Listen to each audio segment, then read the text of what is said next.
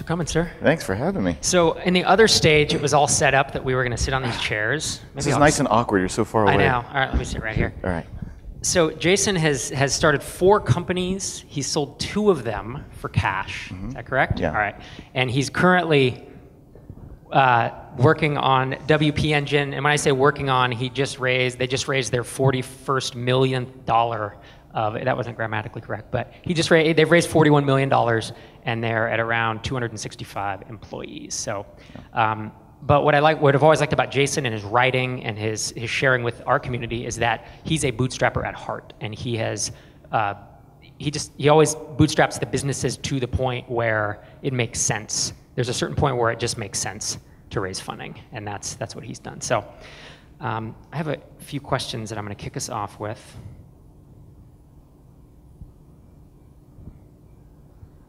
Okay, so Jason validated, or I guess I should ask it to you. So you validated WP Engine. You famously talked about getting 30 people or 40 people to pay you 99 bucks a month, right? You made a bunch of phone calls, a bunch of emails, and you got them to commit to paying you that. I actually used a very similar process when I uh, validated Drip. I only got 10 people, but it was it was my go-ahead. Um, is that still the approach you would recommend to someone in the audience today? Yeah, uh, definitely. I think um, people tend to, first of all, when you go out to validate an idea, the thing is your idea is pretty okay. Like you're not an idiot. You're not, your, your idea is not just complete crap. And so you go out and you talk to a few people. They're probably people you know, or they're closer in your circles in some way, because of course it's hard to talk to strangers. And so you quote unquote validate the idea after talking to maybe five people. And of course that isn't really validation because you're not really trying to invalidate, which is the, the job. So before I had the idea for uh, WP Engine, I had an idea for another thing. And I validated that, except I invalidated it. And um, uh, it, it's also instructive, this, uh, the failure to validate was, also, was actually more instructive because of how. Because I would explain what the product did, and the first thing everyone would say is, that's perfect, I need that, which sounds like validation. Except the next set of stuff that they would say would be different. And so one person would say, that's perfect.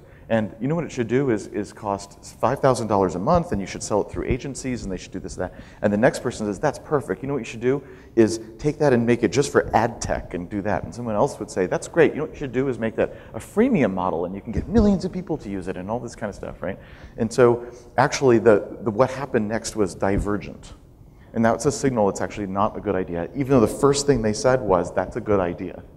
Um, and so it feels like a good conversation. And so um, it's important to run down the sort of full view of what the person, how the other person's thinking. It's important to talk about price because price does determine the product. I just talked to someone over lunch who had collected over 120 emails of people who were interested in the product, which is great, except he didn't ask any of them if they would buy it. And it's actually not clear that they will. They're just interested. And if they do buy it, will they pay a dollar or a thousand dollars a month? Because that's pretty different. And so I think these things like price aren't things to be overlooked, and you should go in thinking, I, I want to invalidate my idea and run those down to see whether they diverge. Um, because even a decent idea can diverge and make it a bad one. And when you talk to them about price, do you say, would you pay $99? Or with the first few, did you kind of say, what's this worth to you until you gauge something and then fixed on a number? Yeah, I always threw a price out there. And usually I was, and, and for both WP Engine actually and this other, um, this other company, I use 50 bucks a month. I'm, I'm, actually not sure why. It just seemed like a thing to do, place to start. So I think, um, you know, if people aren't flinching, then that's a good sign to uh, state something bigger. And if they say, whoa, I thought it would be free until XYZ, then that tells you something else. So I think, um, I think throwing out a number is useful. There's, there's some circles or some talk about um, instead of just getting someone to commit to purchasing, that you should get a, you know, a check that you're not going to cash, or you should even get you know get their credit card number, charge you 50 bucks, and say when you know if, if you don't want it when I build it, I'll refund it or whatever. Like actually get payment up front. What, what's your take on that? Yeah, definitely do that. And now they're Square, so you can take credit cards. And I would absolutely cash those checks. Are you kidding me? They just gave you a check, cash it. Um, you can always give it back later. it's okay. Um, I mean, so the ultimate version of this, of course, is crowdfunding, right? So you go on Kickstarter or some or Indie or something like that, and and uh, that's another form of validation. There's actually an interesting effect, if you look at what's happened with things like Kickstarter, it turns out that it's not as much validation as you would think it would be. You'd think that if someone gives you a total of, of 30 grand to do something, or a set of people, that that's validation. Um, but actually, because that's, that, doesn't, that is not a distribution system that you can repeat, And so it turns out that those extremely early adopters may, in fact, not represent a market that you can repeat. And so, uh, of course, it's better than nothing. Get the money and go and build it, right? So, so don't not do it, but it's actually not validation. It's tr- getting the engine turned over, which is also useful. Okay. So you validated WP Engine, which was, um, if I recall, the early it's it's WordPress hosting, but the early idea was that it was super fast, super reliable, right? Right. Um, I've also validated Drip, which at the time I was saying email marketing software built for startups. What if someone has something that they're building that is too complicated, or or it, yeah, it's too complicated to describe in four words? Yeah, so I don't believe in that. Um, I mean, if Google can describe what they do, by saying, uh, you know, organize the world's information, and they're making self-driving cars and Gmail both, then you can do it too. Um, so I think what happens when you cannot boil it down into a short phrase is either you're not sure what it is, actually you haven't gotten to the root of what is it, what's the important, interesting thing about it, um, uh, but you know you haven't articulated that maybe because you don't know, or maybe just because you haven't figured out what the words are. It's the hardest thing to make the shortest, um, the, the, shortest phrase, um, and and so I just, I just simply don't believe that you can't um, do that. And anyway, you're going to have to put headlines on your and buttons, headlines and buttons on your uh, uh on your homepage. So you're going to have to figure out some phrase of what it is. You're going to have to do that in AdWords. You're going to have to put it on your T-shirt. You're going to do those things, right? So you're going to have to boil it down. So let's do that now. Um, and and uh, and I think the, the, the trouble, and actually um, a lot of the stuff that Joanna was saying before is is um, is actually applicable, which is the job of the, of the phrase is not to do everything. To say what it is and how much it costs and what the market is and you know, how you're going to get there is not the job. The job is, is if you're the right target person, then you should say, oh, that actually sounds interesting, tell me more. Right? That's the job of that, of that little statement. Or to align what you are going to do or not do. Right. So Google's actually a great example. Uh, organizing the world's information. But they make all their money on ads. So how come the phrase doesn't say selling ads? It's actually because the more information they get, the better they can be at selling ads, the more accurate and the more ads. So although ads is the business, the mission is to organize information, in other words, to know everything they can about all of us at all times, because that power, that's what they monetize, and they mostly monetize that through ads, but not necessarily always. So that's why that mission statement is not even a description of the business model or the market. It's a description of what is the most important thing for them to always be pushing forward so that they can do other things. So they have to organize maps because otherwise the self-driving car doesn't know anything. And they have to organize websites or else they can't search and they have to, et cetera. They organize your behavior or else they can't give you good ads. It actually does come from that one place. Cool.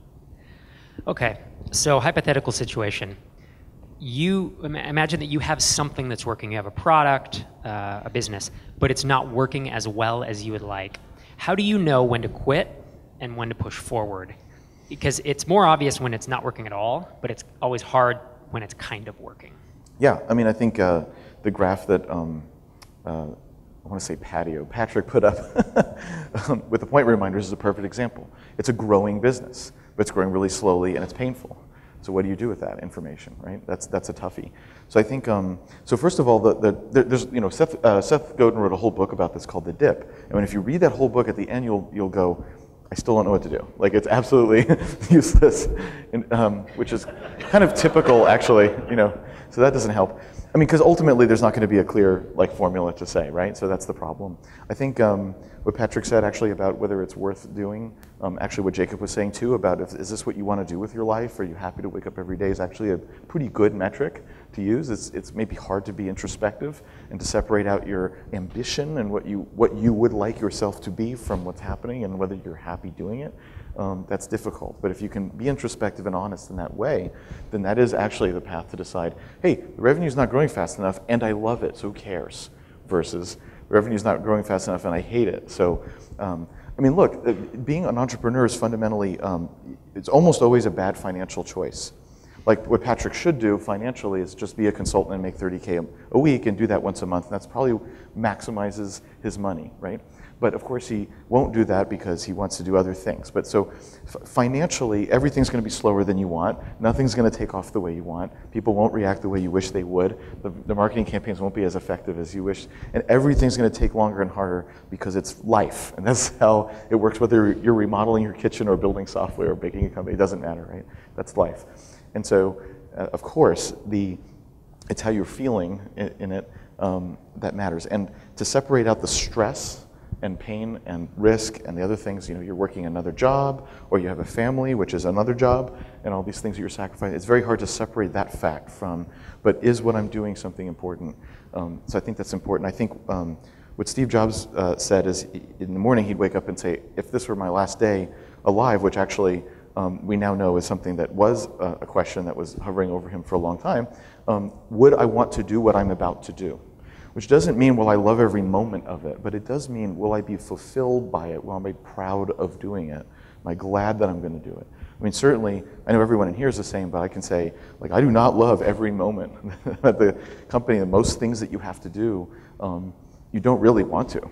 Um, you know, as, as engineers, you want to just make new features, and that's probably not the right thing to do next for the business, right? It's probably distribution, website stuff, getting new customers, tech support, finding out the next thing to do, um, maybe hiring the next consultant or Odesk person or employee or whatever. Like that's probably what you should be working on because that probably would help the business the most. But what you want to do is open up the IDE and make a feature because it's fun and you understand it. You don't have to talk to anybody. But it's it's it's comfortable, but it's not probably the right thing to do. So most things I think as entrepreneurs that we have to do are things we don't want to because we're a little uncomfortable and, and it's not the fun part. Um, but you ask like, is this correct? Is this fulfilling? If the answer is yes, there you go. So I think um, again, trying to separate that from, um, from uh, you know, it's just not working. Um, is, is just difficult. And I think in this community especially, we have a little more luxury to do that because most folks haven't taken investor money and maybe not, you know, have the flexibility to shut something down if, if it isn't working instead of having to see it through. Okay, um, product market fit, phrase bandied about a lot, but I'm gonna say it here, meaning this is where kind of the rubber meets the road and things start scaling up. Basically, it means you've built something people want, your churn's going down, a lot of people are converting, it's easier to communicate uh, your value prop, and it's just working. What tell, I guess the first question is kind of do you, uh, I'm sure you've seen this product market fit in, in some of your products that you've grown. What tells you that you've hit it? And what is your process for hitting it quickly? Hmm. Um, I don't know that you can, you can decide to hit it quickly. I mean, some of these questions, you know, how do you succeed? These are things where if there was an answer, then, um, you know, we wouldn't need conferences and venture capital would actually be good at their jobs. so clearly there's not a good way to predict it, even if it's your job to do it. Um, so what does it feel like? That's a good question because at each of my four companies, we've achieved it. And it definitely feels different. And again, like I've only raised money this last time, right? All the rest were bootstrapped and so on. And so, um, and, and of course, WP Engine was, was bootstrapped until post product market fit as well. Um, so um, there's definitely a palpable change in the struggle that it is, um, where uh, as a consultant, I think the, the, the, turn, the turning point is when you're, you are just telling people no all the time instead of scrabbling to find the next, uh, the, the, next thing to do. Um, and, and, and, and getting to choose that, maybe, of course, raising your rates as, at the same time in order to winnow down who you're dealing with, or at least being able to be more choosy about who you work with. I think for a consultant, that's kind of what that looks like when you've achieved this sort of thing. For product, um, um, you, you, know, uh, usually you can just see it in the metrics. I mean, the what it looks like is you start growing faster all of a sudden, and you look around and say, why? And there's not really a great reason. Like you didn't, you, you're not spending a lot more in ads, or you didn't do some new social campaign, or like you didn't really have a new release. Like it just changed, and you don't really have an explanation. And uh, which is kind of cool, kind of weird. Like I kind of want you know you want to understand the mechanics of the business, but on the other hand, that's what it looks like when suddenly there's a sea change. There's some critical mass going on, whatever that means. And so for us, that happened in January at WP Engine. It happened in January of 2012. And we know because, uh, besides you can see it um, in a literal hockey stick with like the, the low thing and then the thing like that, um, which by the way has nothing to do with funding. It just can happen, right? Um, and it suddenly happened, and, and, you know, again, we are asking why. And it's kind of unclear. Like we started going to these conferences four months before, but there was no immediate change from going to the conference. So why in January? And you could say, well, people came back from holidays, right? But it never ended. So why, why, would, why did that stick? That should have been a lower holiday bump in January and then back to business as usual. And it just never went down. So why is that? Um, so we can invent all kinds of reasons, but it just occurred. And I, I actually think that happens in, in, uh, in SmartBear. It was similar in IT Watchdogs. Um, um, it was similar as well. The things just, just worked better, and, and there, there, was no good explanation, and that's actually a signal. And what were you doing during that time? You know, let's say the six months before, the year before. you were obviously there were folks writing code, there were folks doing marketing. Do you feel were you moving towards something, or or was it kind of like we were just throwing a bunch of stuff at the wall, and eventually, boom, in January, it, it kind of locked in? Um, yeah, I definitely feel like uh, my path has always been, and all my companies has been a, a, a random walk that's trying to seek something. So, like at Smart Bear, the company was founded to because I wanted to learn .NET. Um, that was a mistake, but that's what I wanted to do. I felt like, oh, Microsoft platform is moving along. This is like 2001 or something. I'm like, oh, I need to keep up with what's going on. And so I'll do this weird thing that integrates with version control that I just sort of wanted. And it wasn't that good of a product. It didn't sell that well. And then eventually I discovered that people were abusing it to do code review. And then I was like, oh, code review, fine, I'll just add these features. And I still didn't understand this is a market that can exist that doesn't exist yet. Okay, so eventually I realized this, and um, we actually re- rewrote everything in Java, which was wise. Usually the full rewrite's bad, but when it's .NET, it's, it's wise. and, um, and, and, it, and it really took off once we figured out code review was actually the thing. But there was none, no sense of that at the beginning whatsoever. Um, I think uh, um, even with WP Engine, um, of course, now, uh, you know, once you're at scale, you have to be predictable and so on because you have to hire and do other things that take uh, a lot of lead time. And so you have to be, have some predictability so that you can do that. Um, but even so, um, you know, we've, we've seen the rise of enterprise customers, which again has nothing to do with raising money. Um, SmartBear was almost completely enterprise customers, and that was me with zero salespeople. So this has nothing to do with raising money. But it just happened. And again, is this a market change, or did we did we get a new fit? You could argue about it, but the, but you know we went from almost none of our revenue being those kind of Fortune 100 uh, brands to all of a sudden large percentages of our revenue and a growing percentage is that. And so um, you know that's good, and it, hap- it started happening like three years in. So uh, I think you still never know as you're going. Um, even with IT Watchdogs, we, we, we, we we found these odd things, like even two years in. And so IT Watchdogs, we did um, server room climate monitoring. So we made these de- physical devices. So I was, I was doing the embedded software, but this was, this was a hardware company that you could, uh, that you, and once we went from a little dongle you plugged into a computer to a rack mounted thing, uh, sales went up by a lot. Like that's what, that was a key thing is the rack mount. Then there was another revelation, which again, like is something you can discover, but isn't something you could predict. That, that's more of a random walk. I remember, and this, this is really instructive because it's, it's useful for every single person here, because you know you think about pricing, but but uh, the, one of the biggest things about pricing is how does the customer buy and what can they buy and what's easy for them to buy and what's hard. So, for example, at IT Watchdogs, we're sitting there with this IT guy, and um, we have all our stuff because we have devices and we have all these sensors that come off of it that you can buy uh, and you can mix and match and whatever. And he goes, "I'll buy a base unit and two of these, and what does that come to?" And we're like, "Oh, you know, 489. This is not recurring revenue, right? This is hardware." And so, um, yeah, 489. He's like, "Perfect. That's what I want." And then you guys can come back in a month. We're like, why? And he goes, "Cause if if I spend less than $500 on my credit card, I don't have to ask permission." Aha. So we rejiggered all our prices so that the normal units you'd want to buy always total between like 450 and 490. And we sold a ton of them as long as it didn't go over to like 600. And so like these little these little things, but how do people buy? What is where they're like? So by the way, customer development. Why do you talk about price? This is one of the reasons because when do you have to ask permission? I'll give you a, a separate example. The the Austin Independent School District, which is government, but still, once you get into that kind of thing, they buy a lot. Um, their similar limit is twenty dollars. So that's like, never mind, it's just impossible. Another reason why it's dumb to sell to schools is, is if Patio hasn't said it enough times. Because they have to ask permission for everything that, that can't go well when it's government. So um, um, anyway, so, so this question, uh, you know, what do you have to do to earn something or to try something? It's critical. All right. Um, I'm going to do one more question, and then we'll go out to the audience. So if you've thought of yours, get them ready.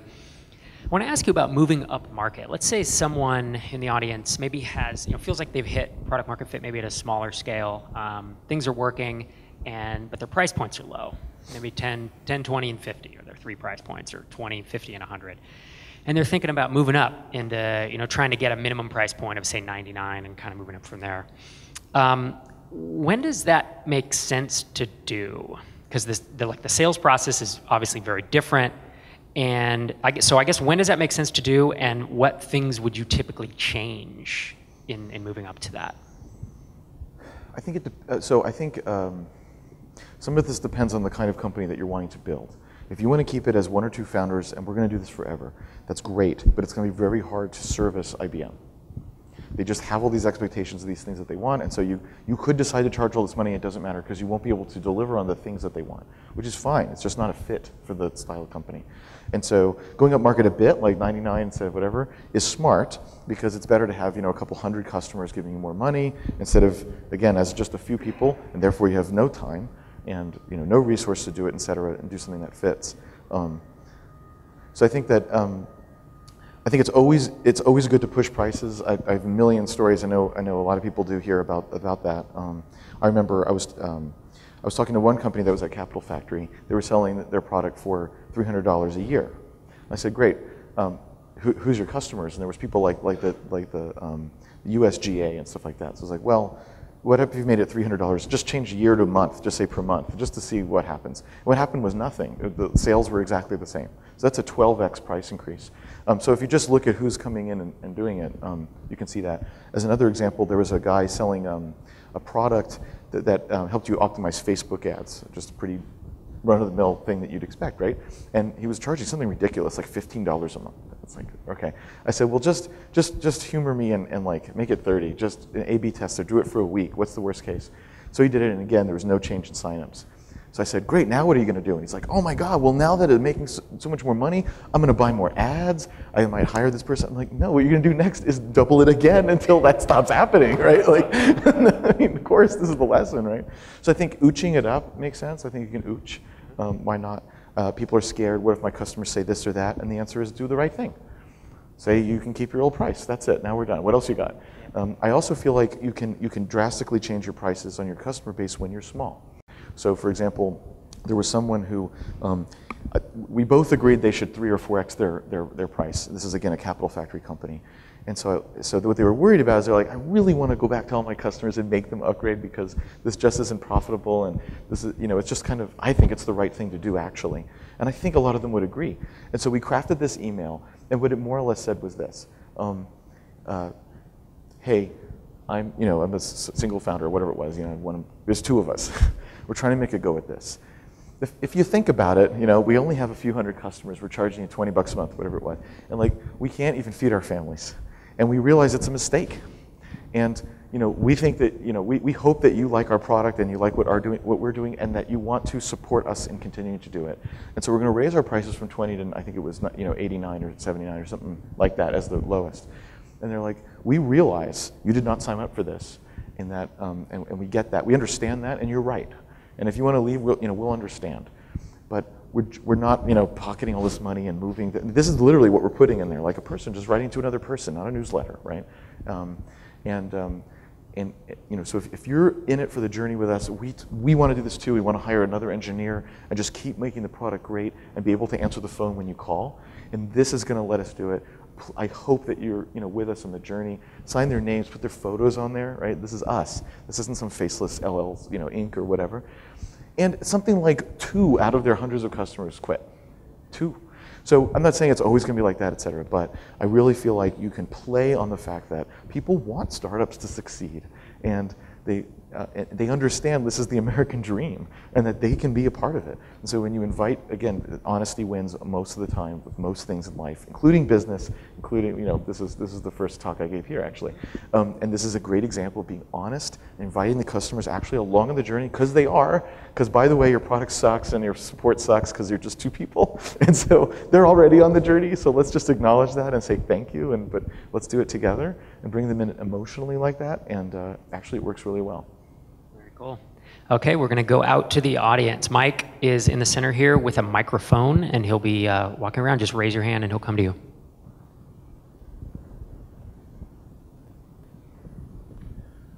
Uh, hi, my name is Joe, and by a quick show of hands, I'm really curious to know how many Canadians are in the room.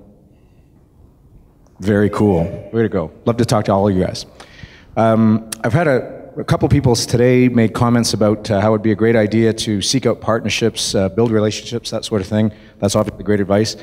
Um, I haven't heard anybody say explicitly that um, they should think about building a, a marketing channel, uh, uh finding resellers, maybe even uh, selling their product through distribution. I, uh, I happen to come from, at 50 years old, I'm old enough to know that software obviously got sold that way in the past. Is there an intrinsic reason why that model wouldn't work with um, SaaS related uh, products? Yeah, so I think this is a good question. So um, that model, um, and we in, at IT Watchdogs we did used to have resellers, although most of the stuff we did was selling direct. But we had resellers, especially in other countries such as the UK, where we could ship in bulk over there, and then and then they could resell it. Um, and we tried to get into some things like Graybar and those kinds of typical VARs. I think, or VARs or, or straight up resellers. Um, I think with software, it's harder for that scheme to succeed because you don't have the troubles that that, that, that sort of um, pyramid, we used to call it pawn life, because it's like each company eats the next. And so just for everybody, because I think a lot of people probably don't know what Graybar is. And so imagine, and, and we'll just use IT Watchdogs as an example. So we, so we have some, um, some, uh, some product that we've built and it's in Mexico. Somehow that's got to get sold to a hospital somewhere. And how does that happen? And so traditionally, it's very hard for a company to contact a customer directly. Um, you know, it, only big companies could afford advertising in the old days. Only big companies could be in newspapers, magazines, TV. Oh my God, right? There's only three channels, and it's very expensive to be there, and so on. And so it's just not plausible for a startup or a new company to somehow get a personal, direct relationship with any customer, consumer, or uh, larger enterprise. And so you needed to go through someone else who did. And so this is what the reseller is. So these companies, uh, Graybar is an example, there's many, where they don't make anything. Their job is they will buy some product from you and put it in their inventory, and they're the ones that have all of the agreements prearranged with all kinds of different companies. And so then they'll sell it. Of course, they want to cut. The typical cut for one of these kind of things is 30%. But they're not the only ones because you have to get it to Graybar, you have to buy in bulk. If they don't sell it, they want to sell it back to you, depending on how much leverage you have. Either you're footing the bill or they might for a period of time. It's very complicated. But it has to do with physical goods moving from place to place and being put in, in, in warehouses. Um, it has to do with those goods then being delivered and set up, which is where you get value added resellers or VARs that also do the setup for a fee. Um, and then there's all kinds of stuff in between, shipping and other kinds of vendors and parts to get all this stuff together. And each time you go through one of these steps, it's 30%. And so as an example, at IT Watchdogs, we built this little, um, this is in the late 90s, we built this little um, um, uh, a board this big that cost us $15 in parts and would web enable a power strip, which at that time was really special and cool.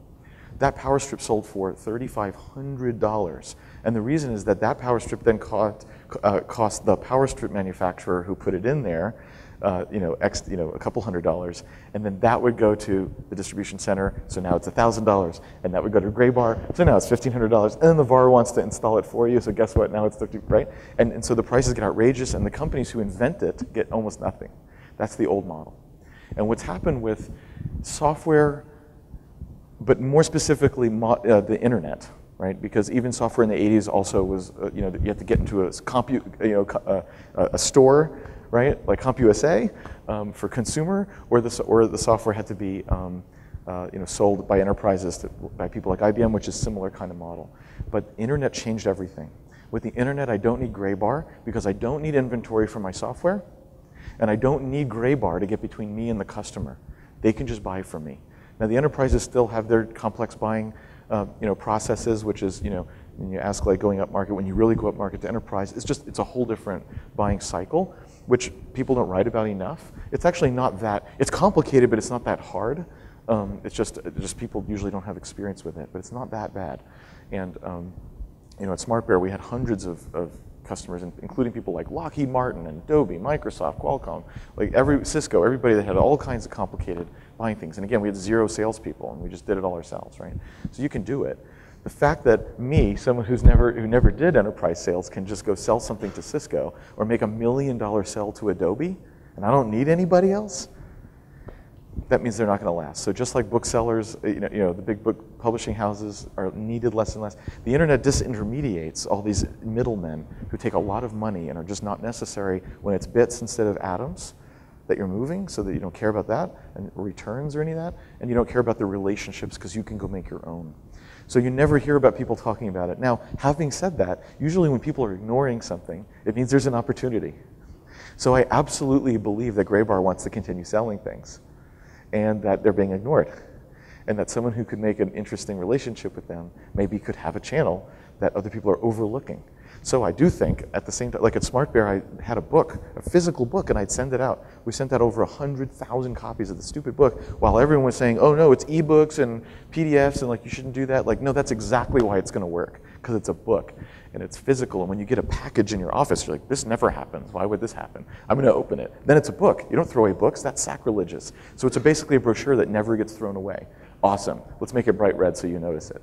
And so I really think that things like going old school in, in uh, whether it's advertisement, distribution, et cetera, whether it's channels, like, um, yeah, it may be wrong for most people, but if, if you can make it work, maybe you have a unique edge. Hey, Jason. Um, with a couple significant exits under your belt, what drives you to keep showing up every day? That's a good question. By the way, there was a whole Freakonomics episode about that's a good question, about why people ask it. And it turns out that, or say it, and it turns out that Americans say it like 50 to 1 versus other people. So there's some kind of like weird American thing. It probably buys you time to think um, and compliments the asker, which is always nice, right? No, but it, it, it is a good question. Um, and it's one that I talk about every single time we do. So every three weeks we have new employee orientation and we take new employees through all this stuff and orient them to the company. And uh, this is something I address on the first day to everyone because I hope that everyone's at my company for the same reason I am, because you're right, I don't have to be there, I don't have to work again, and yet here I am. So, you know, the, the sort of selfish and absolutely true reason is I think, look, everyone in this room isn't here again for rational reasons. No way. This is irrational. This is difficult. It's stressful. It's hard on your family. It's probably not going to work. Like this is not a good idea, right? Um, but we we all, you know, uh, we all have to do it. We have to. We're compelled. It's, we, it's on chromosome 13 or something. There's this sequence that makes us do this, and we must. Um, and it's why people tend to be serial entrepreneurs and why I'm doing the fourth one. Same reason I'm doing the first one, because whatever that was is still there. It didn't go away, right? And that's why people don't go to the beach and sip Mai Tais or whatever. Although it does sound pretty good right now. Um, so, so, it, so whatever that fundamental, whether it's ego or I know better than everyone else or I don't want a boss or whatever that kind of egotistical, self-centric thing, which it is to start a company, whatever that is, is still there. And so still want to do it, right? So that's the selfish reason. But um, as WP Engine developed, and again, this wasn't the original idea, so another example of a, the, the fortunate random walk theory, I guess, um, is, is um, at this point, um, fewer than half the people at, at WP Engine have college educations. And that's a pretty amazing thing for you know, almost 300 people. And the fact that we can, we can provide an opportunity for someone that has the right kind of culture, the right kind of, we call it um, attitude, and if this person has the right attitude and aptitude to learn, we'll teach you the stuff. We can teach you DNS, but you can't teach things like empathy or curiosity or account, self-accountability and caring about the people around you. Um, so, so for us to hire people who have those kind of attributes, which we do very intentionally um, in the interview process and even after the fact and, and, and every day, really, um, gives people who should have an opportunity the opportunity that they would not otherwise have. And you know, even from very early, when we didn't have a lot of money, you know, of course I, I could put in money, and of course I did. And so even early on, we had a health plan with same-sex marriage benefits, which is more expensive for every single person, all this stuff, because it's important. And so for us to be able to do that kind, you know, all these kind of things for all these kind of people, that means every job is important. And we've had people who, you know, they just got a mortgage for their, uh, on a house for their family, and they, they would, they say, I, I never thought I could have a, a house ever. Or I never thought I'd leave this state. And now I'm on a, you're sending me on a trip to London to go pitch people, and like, I, I, I, I didn't even think I would ever be skilled or leave the state or do anything. And, you know, when someone's in your office and they're breaking down because you're giving them that opportunity, that's important. And so why do I come to work every day? Because of that. Now, the same thing, the very similar thing actually is true of our customers. You know, I don't want to make a pitch for WP Engine, but you know, almost no one is technical and can't really set up WordPress or anything, you know, well with security and uptime and so on. And so for us to take, but if you're not on the internet, you're invisible, right? And so, um, and so to, to take a person who's a victim to technology or consultants, they don't know how to hire a consultant. It's like, it's like trying to interview a pancreatic surgeon. You know, what do you ask? Like nothing, right? You, you can't. So almost everyone is not able to make these decisions, and so for us to help them not be victims is important. Um, so, um, and that's not even that's not even a, a, pitch for WP Engine. I know the Pagely guys are here. They do exact that's that's exactly the same kind of thing they do for for all of their customers as well. So I think I think um, that's, that's why I come to work. There's a third component where we give back to our communities. It's, that's another long story, but we put some of our stock in a, in a, in a, in a um, nonprofit organization. We do all this um, um, uh, uh, uh, work around Austin and the other places that we have offices in London and San Francisco and San Francisco and uh, San Antonio. We um, um, uh, anyway, we do it. We give back to WordPress uh, itself and so forth. I think these are the kinds of things that make it worthwhile and fulfilling. And I think that everyone in here um, probably has these kind of higher reasons why we're doing it. We started probably for completely selfish and self-centered reasons. Okay, but now what? What is it that you can do for your customers? Because it's not just saving them time. That's just not enough. And it isn't all you're doing for them. You're enabling them to do something, or you're create, helping them create a life. They're also, an, say, an entrepreneur trying to make it. And if because of because the uh, uh, I don't know their email campaigns are better because they, they, they, they listen to this advice about about headlines and, and calls to action and they have this tool and so they can really make it happen. That's what's important. And I don't want to I don't want to speak for, for these guys, but I'll bet you hearing the stories of success at this conference is way more fulfilling and fun than another sign up on on, uh, on, on a product because it just is. And I think everybody here has those things for their customers. And so zeroing in on what are the what is that thing that's amazing that we're doing for people. I think that is interesting to take a hold of. And when you, and you know, not everyone here wants to hire anyone or, or anything, which is which is great, right? But if you do, then that's the reason to join the company. That those things, because you're not going to pay them that well, they're going to work too hard. It's the same kind of thing, really, reflected into the employees. This isn't going to be kind of a mess. Um, but if we're doing this for people, and we are doing it, to, you know, this tight team is just doing it for individual people that's amazing, and almost no one on earth has the opportunity to do that in the world.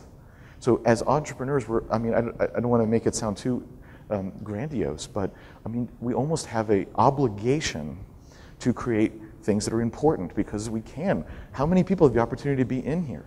How many people are lucky? Look, look how lucky I am, a cisgendered white male born in Austin. Jesus Christ! Now, are you kidding? That's every single opportunity and and, and, and, and, and deck stacked in my favor I could possibly have. I almost have an obligation to do something about that. And there's nothing wrong with just making a lot of money, right? The purpose of capitalism is to accumulate capital, no problem. But then what are you going to do with it? That's maybe the more interesting question. What happens with that? And so I think, well, all right. Great. Anyway, I think, I think everyone here has that. And zeroing on that and articulating that, at least for yourselves, that's, um, that makes this all really important. We have time for one more audience question.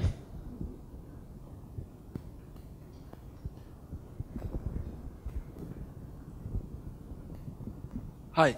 Uh, it's a quick follow-up on the question you just answered. So do, do, you, do you think that you have less stress now that you're on your third or fourth company? Or are you, are you managing in the same way, the same risks? and everything, or do you you know you feel a little bit more laid back now that you have like a you know good landing, comfortable you know type of financial uh, prospect? Or, yeah, you know that's, that's the. I'm not going to say it's a good question. That was a ridiculous question. Wait, no, that's not good. No, that's a great question. Um, uh, no, I don't have less stress. I do feel more comfortable with certain aspects of the business. So. Um, I think the, fir- the, the, first few times you deal with employees and things that come up with employees is, is especially difficult. It never gets easy, but you understand how to do it, and that's helpful. I think also I've worked very hard personally to understand how to manage stress. So I have some, well, um, many days I have less stress than I would otherwise if I didn't do those things. And that could be a whole talk, actually. Maybe it ought to be, because I'm sure we all um, could use advice when it comes to that kind of thing. Um, a lot of people use things like meditation because it helps kind of center and quiet the mind and see things as they are and get a little less emotional and a little distance away. Um, doing things like distancing yourself from something. So if someone says something mean on the internet, that's hurtful and you carry that stress the rest of the day, right? Um, all bloggers, I think, feel that. I certainly do. Um, to be able to distance yourself and say things such as, um, um, you know, they're very angry at me, which is odd if you think about it, because I just wrote something from the heart and then they're pissed. So it's probably they're pissed. They're a pissed person. They're an angry person. It's because uh, it's not like I said anything. Uh, even if they disagree, that's fine. But then why be angry? Like that's kind of that's an interesting reaction. It's probably not about me. It's probably about them. And then you realize, geez, I feel sorry for that person. I, that's terrible to be angry like that. That's that's uh, That's, a, that's not a nice, that's not a happy way to live. That person may not be happy, and that's um, something to pity. And then, so in other words, by distancing yourself and saying what it is and so on, that can help reduce the stress because you're changing the frame for yourself of what it is. So things like meditation, oddly, I, I know that sounds weird, sounds kind of new agey and stuff, but that's true. That um, things like meditation help um, create a mindset and help you get into that mindset that's that way. So I think that's useful. Um, I think there's other things. Uh, if we're sticking on the on the Buddhist uh, track, there's things like um, you know all things all things come and, and they are, come into existence and then they, they they end. All things end. That's something that humans don't like to deal with. You know, we talked about a few times just now about selling the company and what that's like and your identity's in it, and that's true and unhealthy, right? Because it will end. All these things will end. All these companies will end. All of us will leave those companies.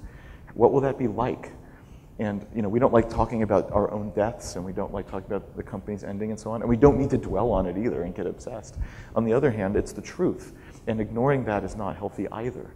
And so asking like, so if all things end, then what does it mean about what I should do every day? And you get right to what uh, Patty and other people have been saying. You need to make sure that the journey is the valuable thing and not the end, that the end is simply another thing that happens that's temporary, and that the, the whole journey is actually what's important, and maybe what you do for other people and so on. Um, and so I think um, these kinds of attitudes, I'm going down this path because uh, I hope it's useful, I hope it's um, useful to people here. Um, but I, that has helped me reduce stress more than, I don't know, just ex experience or something like that, because I feel experience is, a, is also a, uh, um, um, it also is, a, is, is, is an anchor because you think, well, I did this before, therefore the world must still be the same way and I know how to do it. Of course, that's not true, right? Um, uh, experience is what you get right after you need it, and uh, that never stops being the case. Um, so it's, it, people ask me often, like, well, SmartBear, how'd you get that started? And the answer is because AdWords was new, and I was one of the first ones to use it in my um, you know, universe. And so I was the only ad on the page, and it was five cents. So who cares what I did? Who cares what the logic was? Who cares what happened next? Because none of that world doesn't exist.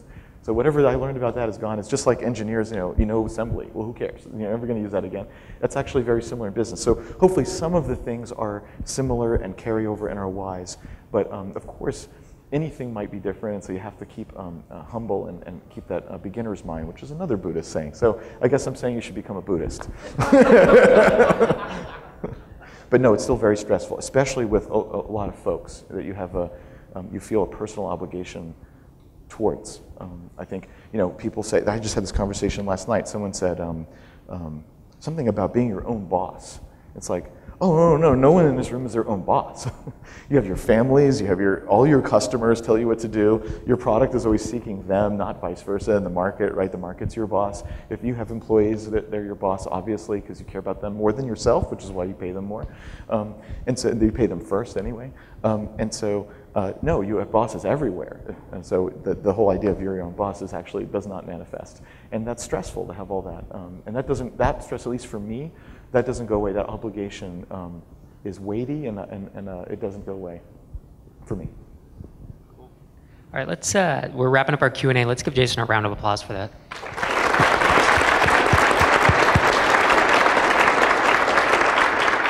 Now we're, we're going to move into SmartBear Live. We have uh, three contestants. I think we might be able to get through all of them. We're going to do about five minutes each, and they're going to come up here. Jason has no prior knowledge of their names, their companies, any of that, and so he's going to go through uh, some Q and A with them.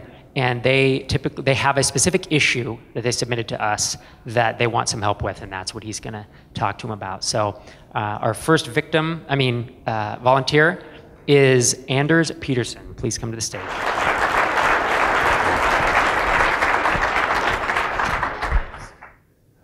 So um, I'm building a new app, and I've invented a new way of uh, managing a team, and um, called TimeBlock. And um, I wanted to hear your comments on this idea. Um, so, what's a specific question? One sentence. We have five minutes, so we have to be specific. Yeah, sorry, but my brain just froze up. Um, I, I, honestly can't remember the specific question I sent in, so so I'm so sorry about that. I'm, I totally fucked up now. Um, Jesus Christ. No, I, yeah. Well, Uh, honestly, I just wanted to, to, to hear your comments on my idea and, and see if uh, you can either well. So first of all, am I the target market? Sorry? Am I the target market for the Yes, you company? are. Are sure? tar- yes, I am. Uh, my target market is, is mid-sized, small to mid-sized developers. It's a new methodology, and um, I'm just when I submitted the question, I was still in doubt if I should run with it. Um, I'm not that much in doubt anymore, but but I'm still wondering. What's the single most important thing you need to work on right now? Um, and if you don't know, then what is? Then it's probably what is the thing that's probably going to kill the business most likely? Uh,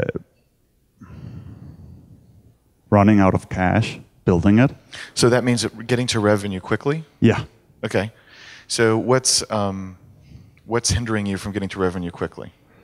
Uh, probably me, but I'm thinking also getting an app that people will pay for. How, how many people know about it at all right now?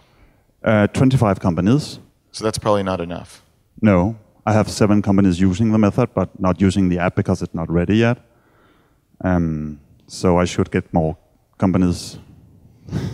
How much are they paying? $49 per user per month, So that sounds like a lot. How many users on the average company? 10 to 25. So that sounds pretty good. So how many of these companies, like if all 25 were doing that, would you be set? I mean, just set for now? Sorry? If all 25 companies were paying the $45 times the number of people there, would that be sufficient revenue? Yeah. So that's the next thing to do then. Yeah. So what's stopping you from doing from getting them up and running? Uh, the app, I haven't built it yet. I'm still building it. Well, then how are the seven people using it? Sorry? How are the seven people using it? Well, I've pitched the method, and they started using it in using Excel sheets and and just doing it because it's a method. So you, you don't need the app for for, for do, using the method. So how about doing that with the other 25? Or at least try, try to do that with the other 25. No? Yeah, but I've pitched it to 25 companies. All liked it. Uh, seven started using it.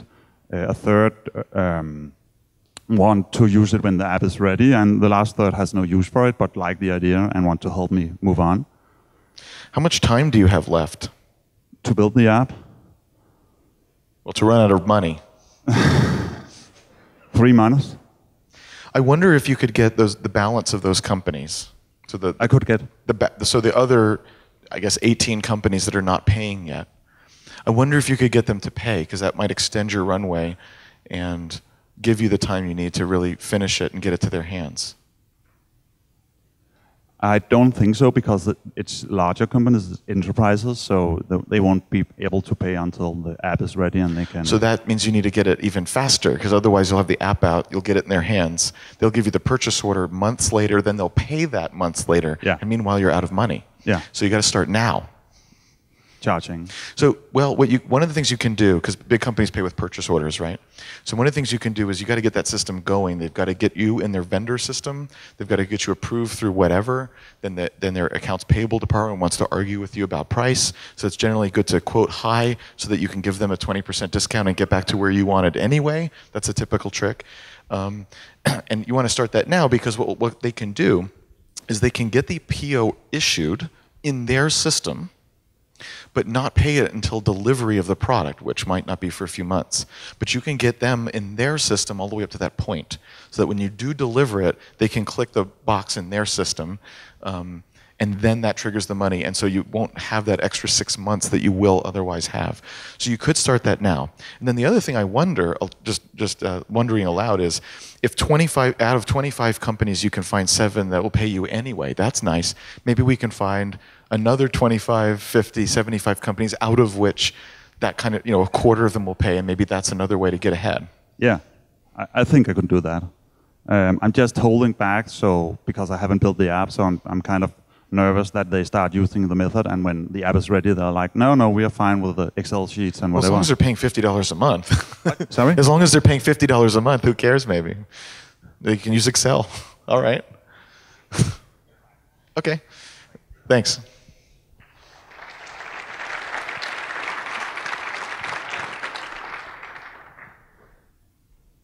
Okay, our next next contestant is uh, Mr. James Kennedy of RubberStamp.io. We saw his site earlier when Patrick was doing a teardown, And I'll let James explain what his company is, but should I should I call out what his because he put a what are you looking for advice on thing in this doc. Should I read that out now?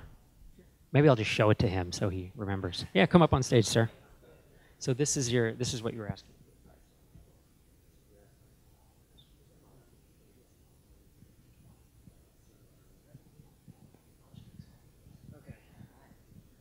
Hi, Jason. How are Hi. you? So uh, we have an online purchase order system. Uh, you know, we target companies between 50 and 100 employees. We have 30 customers, picking up uh, five, four or five customers a month. We're doing that. We only have one lead source that's working, which is paid comparison websites like GetApp and SearchN and places like that. We're getting pretty much all our customers from that. And we're looking for our next uh, channel. So our next target is try and get to 20. That's our kind of, you know, acquire 20 quest- customers a month. So um, what's on the table is, um, you know, doing AdWords is what everyone does, and then, you know, we're looking at sp- sponsoring specific live events. Um, but we found out that we have to target like CFOs, or we feel like most of our customers today are CFOs, which are expensive to get in front of. Um, so, uh, yeah, uh, and we've also looked at. Um, So is the question, how do we get in front of them 20 or 50 at a time per month? well, that would be great, yeah. if- Yeah. So, um, so I think there's some interesting things. So, the CFO, even at a, I mean, if they even have a CFO at 50 to 100, they might, or they might really have a VP of finance acting as that, and so on, right? Um, I think even at uh, even at say 80 to 100 people, there's other people in the finance department. It's not just the CFO sitting there with the spreadsheets, and so they may have a controller by then. They probably have some like intern or post-intern type folks who you know want to be a corporate accountant someday. So maybe they're a junior accountant.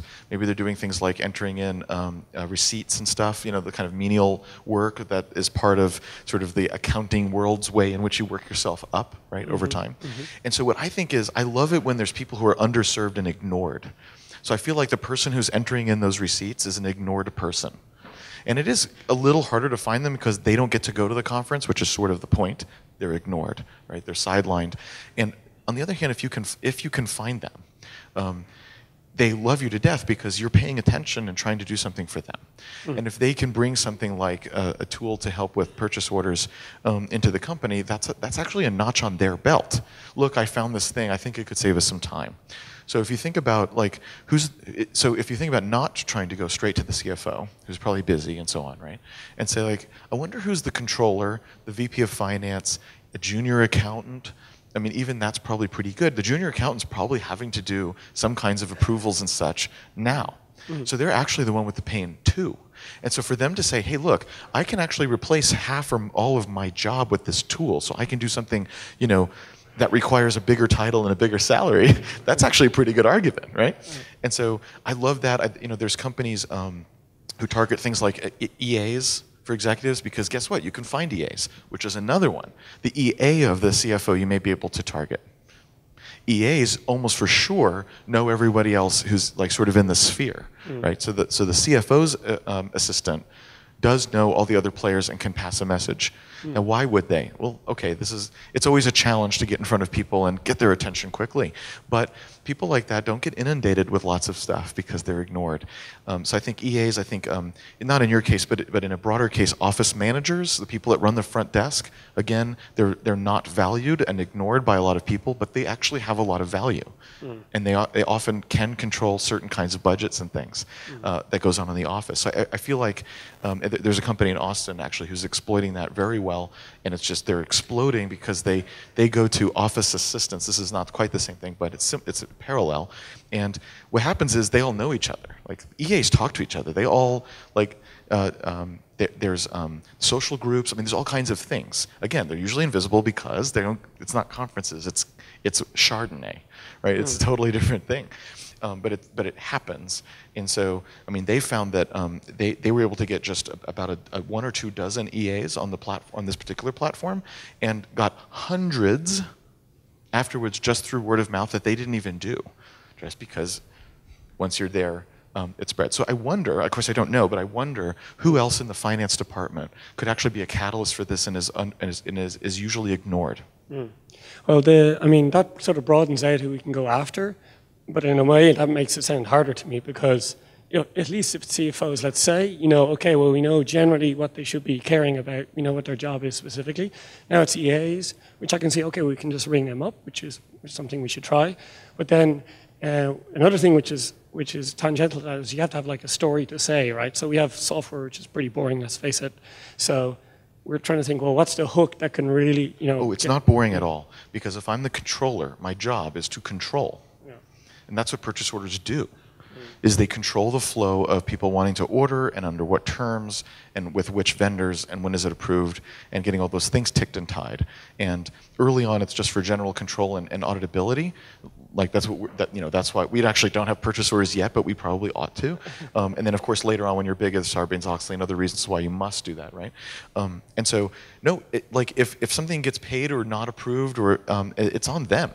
And if they're holding up processes inside the company, that's hurting the company from doing business. The marketing department can't buy, you know, one of your guys' software, right? Because the uh, because somebody uh, doesn't know how to approve it, or the where is in the budget, you forgot that line on the spreadsheet because it wasn't in a tool, whatever. Like they're hampering the business if they can't do it, and mistakes that they make materially, sometimes materially hurt the business. And um, t- to be able to wrap, for them to say, I can wrap this up in a tool where I know that's never ha- like this certain workflow is happening, is their job. It's very valuable. So I wouldn't poo-poo it and say, ah, software's boring. It's like, no, no, no. Well, okay, maybe software itself is, is not interesting, but the, the, the solution that you're, you're providing is. Well, we know what we have works in that, you know, people go to get GetApp, they're looking for the software, they compare us with everyone else, and then they pick us. Yeah. And then, or if you have, you know, on the, on the keywords, they're looking for that. Now, we've certain, we seem to be kind of plateauing. Maybe we can optimize, but we, you know, we're getting the number we're getting through those channels. And what I'm thinking is, well, now we have to sort of go broader, like you're saying, and we're, uh, so we need something to talk about. Like talking about software, if they don't have that problem, is a thing, and we're thinking, well, you know, we're, we're talking about like thinking of, like for the CFO, we might say, you know, you're, you're losing control. You don't have control of your company spending, and we're trying to turn that into a story. It's like, the same story. It's just the CFO is not the only person responsible for solving that problem. They may be ultimately, actually, the CEO is ultimately responsible, by the way. And so if there's control issues in Sarbanes-Oxley, it's not just the CFO that goes to jail, it's also the CEO, right? So no, there's, there's, there's many people whose responsibility it is, but um, it goes down as well. And so, um, no, I agree, you need to find other channels. And it's not just broadening who, that's actually not how I would think about it. I would think of it as being very specific, but different. So instead of being specifically CFOs, what if it's specifically controllers? Where, what do they do? Where are they? And um, you know, how can you tell? It's the same story in terms of control and, and, and saving time and so forth, but um, how, how can you attack a different persona, maybe in different and maybe in a different way as well. But five per month is very small. There's obviously millions of companies that need to use purchase orders, right? So, I mean, you haven't even started scratching the surface of where you know what that could mean. Um, so, and one final thing, and then we're out of time. I, I would say, just throwing it out there, is um, comparison sites cannot be the only way people discover and use these tools. There are ways, um, and, and some people in here are probably experts on this more than I, but there are ways of finding out how are those other people getting customers? Are they running AdWords? Where, where where's their traffic coming from? And there's sort of some interesting ways to try to figure that out. And it, and it sounds like you don't know where those other companies are getting traffic because otherwise you would say, well, I'll try that. Um, and so uh, that might be another avenue of saying, well, how else is this happening? Because cle- clearly thousands or maybe even uh, hundreds of thousands of companies just in America are going to start using purchase orders every month. And they're doing it some, and they're finding out some way and doing it somehow. Um, like, like for example, what if it's even like an Excel template that they're using? What if you provided a good one, but as a foot in the door to do something else. I mean, I don't know, but the point is, what what are they doing? Where are they going? Because it's maybe it's not AdWords. Okay, well, it's happening somehow. So answering that might help then say, how do I get into whatever they're already doing to seek it? Thanks. Cool, thanks.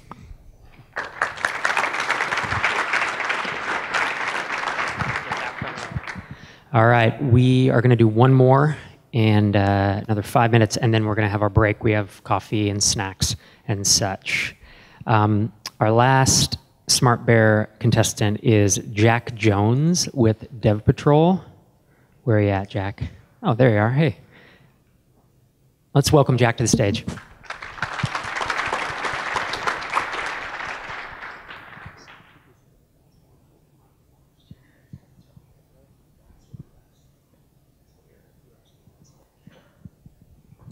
Jason, good to meet you. Um, so, a little bit of history before we get into the question. Well, what's the question? the question is when. I know the history. The history is every time I hear collabinate, I think, oh, my stomach kind of feels weird. What's that smell I smell? It's like a, like a Pavlovian reaction to you now. It's really bad. All right, we can skip collabinate. I know it breaks water mains and all of that. Um, I'm actually compelled to start a, a, a, business on top of Collabinate right now. So it's the, it's the stupidity of, of entrepreneurship coming out, and it's a two sided marketplace. And uh, so I know it's idiotic. I don't want to go too much into that. The, so, what's the question? The question is in building uh, a two sided marketplace, uh, which is going to be hitting the, uh, the, the, technical recruiting uh, arena Patrick. I know it's an underserved market. I was an What's enterprise software so, for a long time. So, so the question is, yeah. in building that, with uh, with trying to get an audience, is it is it everything in me says to start monetizing immediately because that's what I've done with my previous two businesses.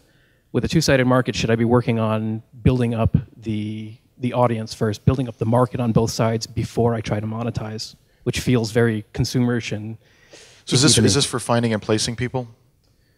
Uh, this is for it's kind of an OK Cupid, so matching people based on interests with companies that. that but for the purposes of, of hiring. For hiring, yes. Um, there's a lot of places you can post for free or cheap, and everybody knows that they're low quality.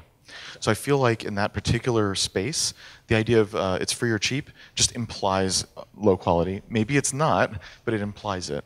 And on the other hand, as, as, as Patrick was alluding to, um, but if it isn't low quality, if it is low quality, we don't need another one of those. We already have Monster and Indeed, thank you. Um, and on the other hand, if it is high quality, it's worth a lot of money.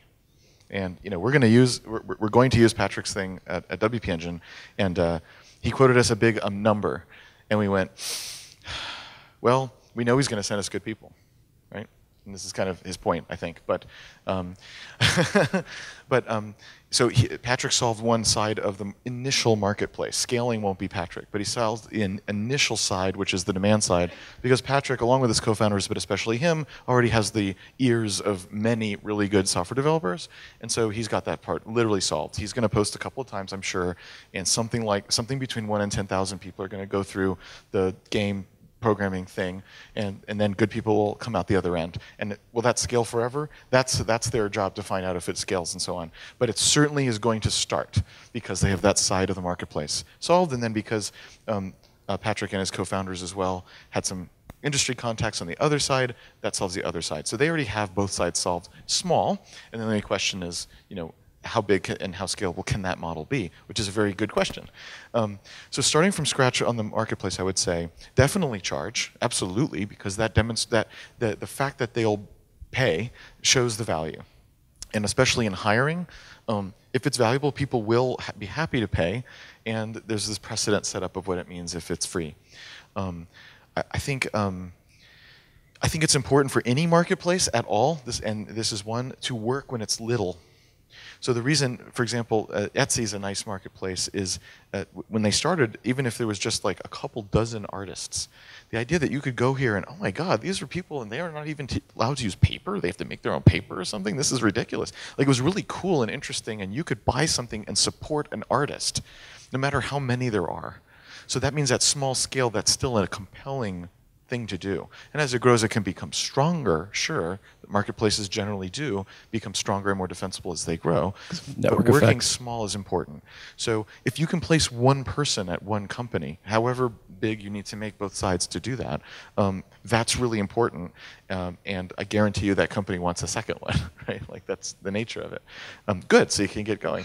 So I think just like um, just like what Patrick's doing, I think um, I think you can start small and in fact, it might be easiest when it's small. I mean, to me, the difficulty of the hiring business is scaling it. Yes, of course, you can just cherry pick some companies and cherry pick some people, and like, yes, because you're basically shaking your network, putting it through a very sophisticated sieve, and then of course some good people will come out, and of course it's valuable if you place them. And that's not like you should do that because it gets it going, but actually isn't new information. You haven't right, really learned anything or validated anything. anything. It's can you do that times a thousand? I mean, you don't want to do it times a thousand. Yeah, that's fine. Um, I know Patrick does. That's why I keep saying that, just because I have that in my mind. But um, um, but but scaling it is is is the hard thing. So I would say um, absolutely charge and charge a good amount. Um, let that you know help to fund the thing. I hope there's a good insight because they, at least have an insight. I think that's it. It doesn't have to be unique insight, but it does have to be insightful, um, so that you really are finding people. Um, I think. Uh, I think the idea of matching is, is a really good one. I really feel like you know a great employee for WP Engine is a bad one for someone else, and vice versa. We have a lot. Boy, we've we've let people go who are insanely good engineers, but they would be a culture fit at Facebook where everyone's an asshole, and that's fun and that's good. That is not a bad thing at all. It's like no, you just need to find your people. That's- we that's we are we're reason. people and you're people, right? That's So the whole I reason love for that. it. Yeah, I love that. I think it's. Uh, I think people love it. I think it's important. Um, okay, this is a tangent, but it's important. I think um, one of the things you do, you you do when, when when you have employees, even one or even a co-founder, is when people are really unhappy and it's a bad fit. And they're not being successful, and they're not going to be because you've worked on it. They usually still won't leave because they won't have the initiative because it's a big risk and it's scary and this and that to leave. Everyone in this room uh, has taken plunges, so we know it's really really hard and most people won't do it, right? Um, and so as as the as the manager, it's your job to discover this, to communicate that, and to have them leave so that they can go be successful, so they can find a place where they can be happy and fulfilled. And you are literally preventing them from being happy and fulfilled by not letting them go. And if you can do it before you even hire them, then it's That's obviously way better, right? So I really feel like um, that's an important lesson in general, and it certainly it, letting someone go is one of the hardest things anyone can ever do. And, and again, for me, again, it doesn't become easier. It becomes more. I understand the mechanics, but it's still emotionally just as hard. But the, over and over again, I see that the people go on and they're successful, and so. The idea of, of matching, I think, is an important one. I think people don't do it themselves. And so, not only is it a service to companies trying to hire, which it obviously is, but the truth is that it's it's even more of a service of the person to be placed somewhere where um, where they will have a better chance of being happy. That's, I mean, that is literally helping people to be more happy, which sounds again vast, but this is what I mean. There's always something. this is why I'm compelled, You're even though I've got other it. things going on. Good for you. I wish you luck with that. Thank you very much. Cheers.